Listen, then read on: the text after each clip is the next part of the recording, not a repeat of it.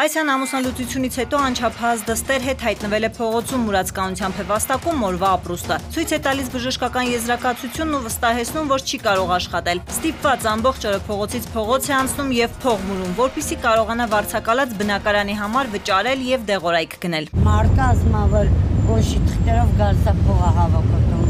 Մարկա վերմելիցեկը բերման աստացնում են փողը հավաքոտում դիսվում է Անօթևանների ժամանակավոր կացանի մասին լսել է, փորձել է օգտվել, սակայն դիմելուց հետո կացանի աշխատակիցները հայտնել են, որ նախքան իրենց մոտ տեղափոխվելը պետք է պաշտոնապես հրաժարվի երեխայից։ Կյանքում ավելավա պատեր տակ կմնամ, կմա իմ աղջկանից չեմ հրաժարվի։ Այս տղամարդը 3 տարի ապրում է փողոցում, դեռ թոշակի տարիքի չէ։ Ասում է ազնագիր չունենալու պատճառով նպաստել չի ստանում։ Գոյատևում է օրվա ընթացքում հավաքած 3-ից 4000 դրամով։ Ես ամեն օր չեմ գալիս թե ես որ գալիս եմ թույլտվություն եմ վերցնում դերորից ներ չէ որ խոսք ասել я բախտեն ուստեմ Այս կինն էլ չափահաս դստեր եւ որդու հետ է տարիներ շարունակ մուրացկանությամբ զբաղվում հյուսիսային պողոտայում։ Գիշերում են փողոցում, սակայն պետության առաջարկած աջակցությունից կացարանից օգտվել չեն ցանկանում։ Ես իմ նոմս հասիվը չեմ քցիչանը։ Ավելավա էթամանդես կընտրանքով հացուտեմ քաստեն դե օչիլոտ ճաշուտեմ։ Սա Հայաստանում գործող անօթևանների ժամանակավոր միակ կացարանն է։ Այստեղ ընդունում են 18 տարին լրացած մինչև 100 թափառաշրջիկի։ Բացվել է 2011 թվականին հայդանիական բարեգործական մի հիմնադրամի ֆինանսավորմամբ։ Վերջին 3 տարում ապաստարանը գոյատևում է պետության միջոցներով։ 90 օրից հետո մենք պետք է կարողանանք իրենց գործերը պատրաստել եւ ուղարկել խնամքի տներ, եթե նրանք ունեն հաշմանդամության խումբ, եթե նրանց տարիքը լրացել է 65-ը։ Բնակության ժամանակավոր հա պայմանների ստեղծման կամ թեկուզ սննդային կամ սանիտարահիգիենիկ կարիքների ապահովման որոշակի ծրագրերը կամ արձագանքումները չեն կարող դիտարկվել իբրև օրինակ Հայաստանի Հանրապետությունում անօթևանության խնդրի լուծման առանցքային վարկագիծ։ Շավարժ Խաչատրյանն ընդունում է կացանում ապրում են տարբեր բնավորության եւ կենսակերպի մարդիկ, անգամ նախկին դատապարտյալներ։ Այդ պատճառով էլ շատերը չեն հարմարվում եւ հեռանում են։ Ունենք նման դեպքեր, ոստիկանություն գրված, որ չենք ուզում պետության ոչ մի միջոց, մենք սենց ավելի լավ ենք ապրում։ Մենք պետք է հավաքնենք ընկերներով փողոցում, գիշերը գրակ վառեն, նստենք կողը մի բաժակ խմենք եւ այլն։ Իդեպ անօթևանների տան առաջարկած աջակցությունից մուրացկաններ հազվադեպ են օգտվում, քանի որ փողոցում գումար մուրալը շատերի համար շահավետ է։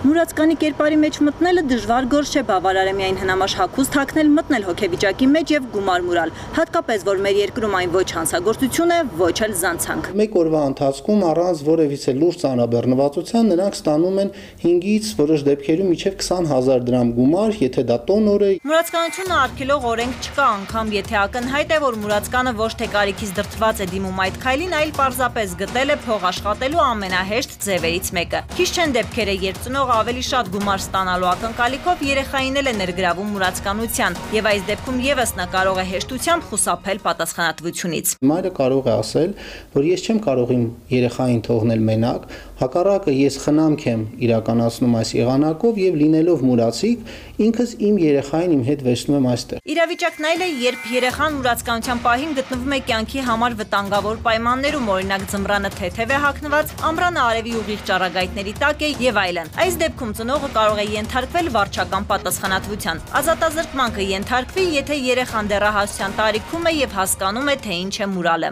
Մուրացկանությունը դիտարկվում է որպես երեխայի հետագա զարգացվածությանը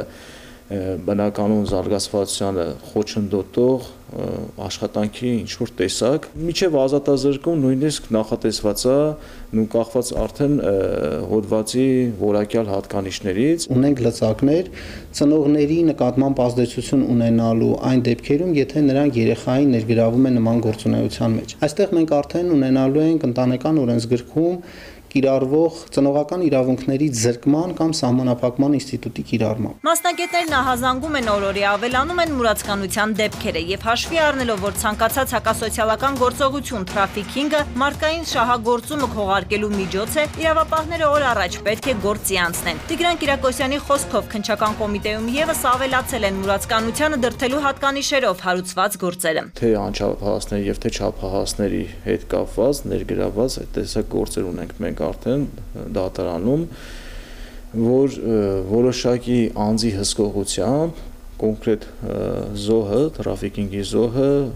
կատարում է որոշակի հատվածում Երևանի խաչմերուկներում մուրացկանություն անմեղ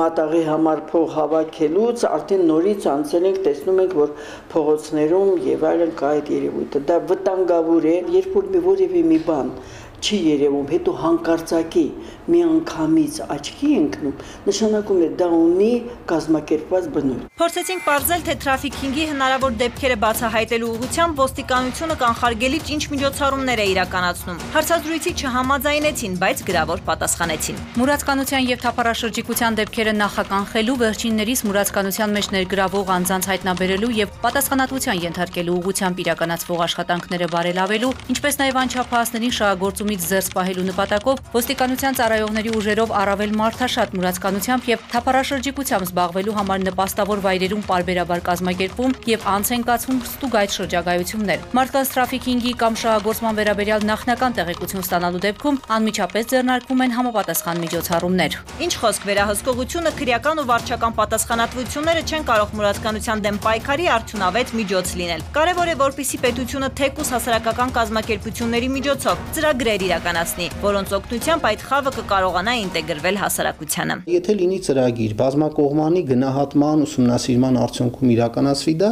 դա կլինի բավականին արդյունավետ։ Անհնար է լուծել անօթևանության խնդիրը, քանի դեռ պետությունը չի ստանձնել հասկանալու, թե տարբեր անձինք, տարբեր խմբեր ինչ պայմաններում կամ ինչ պատճառներում են հա օրինակ անօթևան դարձել։ Զուտ սոցիալը դրանով չի կարողանալու զբաղվել։ Դա բոլոր երկրներում է այդպես։ Նա կարող է քաղաքականություն մշակել, դա հկների գործ է, որովհետև որևէ տեղ կառավարություն, կառավարության մարմինը չի կարող գնալ եւ մեկ-մեկ ուսումնասիրել։ Վիճակագրությամբ Հայաստանում 2019-ի նախկատության մակարդակը կազմել է 26.4%, ծայրահեղ աղքատ է եղել բնակչության 1.4%-ը։ Դժվար չէ կանխատեսել, որ իդով եւ պատերազմով պայմանավորված այս տարի պատկերն ավելի մտահոգիչ կլինի, ինչը նշանակում է, որ անօթևանների եւ մուրացկանների ավելի հաճախ կտեսնենք։ Մասնագետների կարծիքով խնդիրը լուծելու համար անհրաժեշտ է աղքատությունը հաղթահարելու ռազմավարություն մշակել, ինչը 2019-ին փորձել են անել շահագրգիռ կողմերը։ Նախագիծը մտել էր ազգային ժողովի օրակարգ, սակայն ինչ-ինչ պատճառներով մնացել էր թղթի վրա։ Տաթևիկ Աբ รา համյան, Վահան Գլոյան, Զոհրաբ Խարամյան, Սուրանկյուն